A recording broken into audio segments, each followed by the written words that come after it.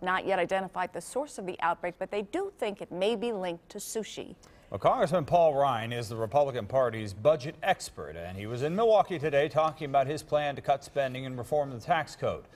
Of course, if you're a politician in Wisconsin these days, you can't go along before you start talking about the recall. Fox 6's Mike Lowe joining us now with the political lowdown for tonight. Mike. Good evening, Brad. If you asked a good politician what race they thought was most important, I'm willing to bet nine times out of ten they'd tell you it's the one they're personally running it. So that's why it was so interesting to hear Congressman Paul Ryan, who is, after all, up for re-election in November, give a different answer to that question.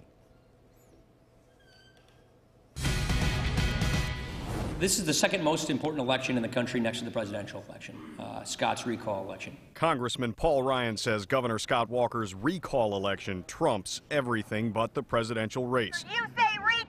Because the recall's impact extends beyond the Badger State's borders. Most folks in, in D.C. look at this election as a national trend setting election. Ryan was in Milwaukee talking about his budget plan to business leaders, but the conversation soon turned to the recall. And it's basically courage is on the ballot.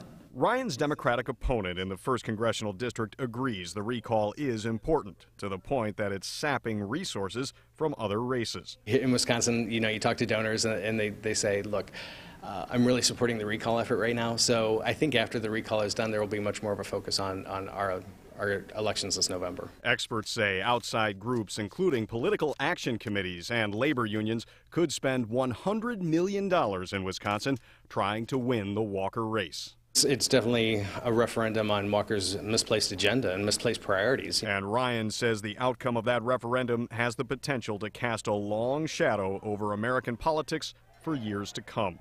If Scott Walker or these state senators get recalled in June, what governor or state legislature in the future is going to take on these big structural challenges? What, what, what politician in state government is going to take on these entrenched special interest groups and deal with the structural problems of their state if this is what happens to you?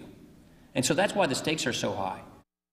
And Paul Ryan says he will play an active role in the recall races. He says he'll campaign with Walker and the senators under recall.